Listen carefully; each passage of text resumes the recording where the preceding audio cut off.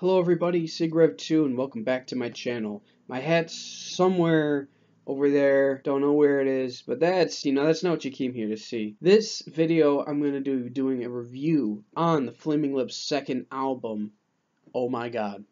For those of you who don't understand what I'm doing, I'm going through the band's discography, going to be rating and reviewing every album in their discography up to and including the band's newest album, Oczy Mlody, which comes out this Friday. It comes out tomorrow.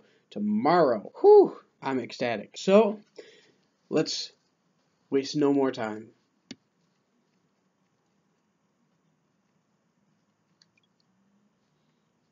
This one, it's not that much of a sonic departure from their first album. It does have a lot of similar themes, a lot of similar ideas and progressions, but it sounds slightly more cheap. Like it sounds like the band was in a hurry to get something out. It's kind of a detriment to the album. I mean, it's not like the band was in that much of high demand, and they had more than a year to work on this one. It came out the year after. They had more than enough time to get this done and it kind of just seemed a little rushed, to be perfectly honest. I mean, I took notes, and I have them on my phone right here, and some of the songs I, I can't even I didn't even write notes for because it just they don't really do anything. They don't really go anywhere.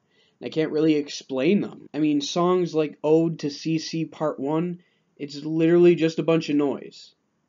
Like, that's no hyperbole. It's a bunch of weird noises, a bunch of backwards vocal loops,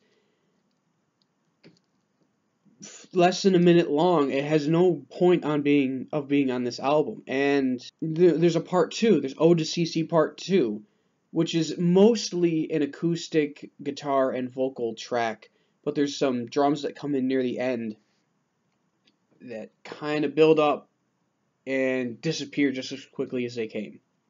It sounds like it was recorded as a demo and they just threw it on there and I don't understand what this song has to do with part one, since this one is actually, you know, a song. Although I can't complain at all, there are some good tunes on here, like Everything's Exploding, which is very reminiscent of some songs from the first album, some of the better songs from the first album. There's also songs like Thanks to You and Can't Stop the Spring. Thanks to You is kind of jingle pop esque, and the vocal performance from Wayne it's a lot it's really interesting i can't really explain it it's a lot deeper than his usual fare and it's a lot more quiet like he's singing right up close to the microphone in this really deep voice and it's quite an interesting sound and like I said, Can't Stop the Spring is another great track on this one. It's it's got a guitar riff for days. The only thing about it that I'm not a big fan of are the random samples, the classical samples that come along through it. I don't understand what that's all about. Unfortunately for this album, there's a lot more bad songs on it than there were on the first one. And there's a lot of time wasted on this album. There's a lot, uh, like a lot of these songs could easily be cut in half. And it'd be fine. One million billionth, uh, what the fuck? One million billionth of a millisecond on a Sunday morning has no reason to be nine plus minutes long.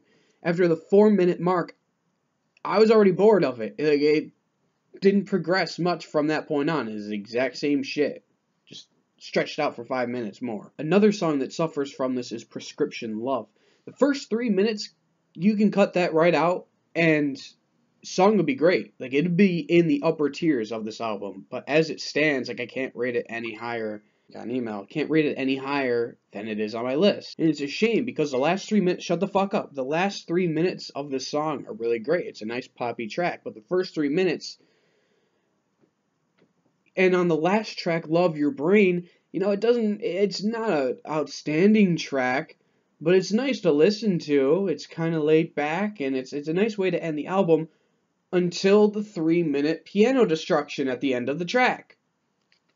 For no reason. That seems to be the motif of this album. A lot of things happen for no reason. It bugs me more than it should because their first album was was great. You know, I gave it a 3.5 out of 5, and then I come to this one expecting progression, and I get filler. And that's just a major letdown. Although there is one filler track on this album that I do like, admittedly, and I don't exactly understand why. It's called Maximum Dream for Evel Knievel. It's an atonal mess, and it it just sounds like the band messing around in a studio improvising for like a good three minutes. But it, for some reason, I like it. I I'm gonna have to give my ranking on the tracks here, aren't I? Yeah, that's what I did with the first album. So let's waste no more time and get right into the tiers, starting now. In the Mist tier, at the very bottom, we've got Ode to CC Part 1, followed by 1 million billionth of a millisecond on a Sunday morning, followed by Ode to CC Part 2. Okay! In the OK section, we've got Love Your Brain, Prescription Love, The Ceiling is Bendin', and Maximum Dream for Evel Knievel. Hooray! In the Great tier, we've got Can't Exist and Can't Stop the Spring.